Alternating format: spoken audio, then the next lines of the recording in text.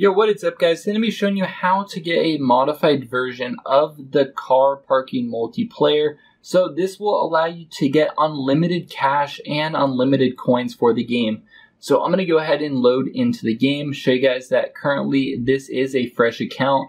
Um, I have like barely any cash and zero coins. So um, I will show you how to max this out and you can use this to purchase anything for absolutely free.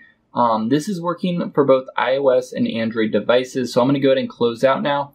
What you guys want to do is go ahead and go to settings. Once you're in settings, go ahead and go to um, go to general.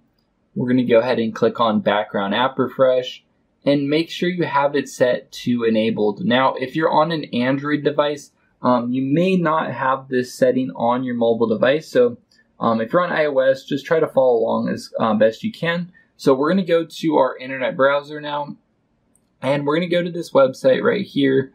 So this is the website we're going to be using to install the modified version. So go ahead and click search. Make sure you type it in correctly. Once it loads up, go ahead and tap on the search bar and just go ahead and type in car parking. And there it is right there. It says for iOS and Android, um, this is the car parking mul- uh, multiplayer mod. So um, I've already installed this, but I'm going to show you guys exactly how to do it. Go ahead and click on it.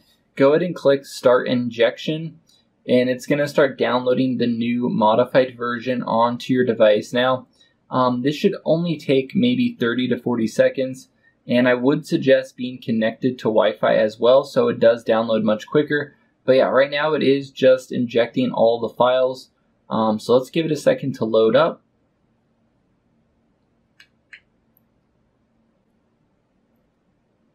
And we're going to go ahead and open up our car uh, parking mul multiplayer. So we're going to go ahead and wait for the game to load up. And there you guys see it right there. The cash and the coins started increasing. If you guys have any questions, feel free to comment below. And until next time, see you guys.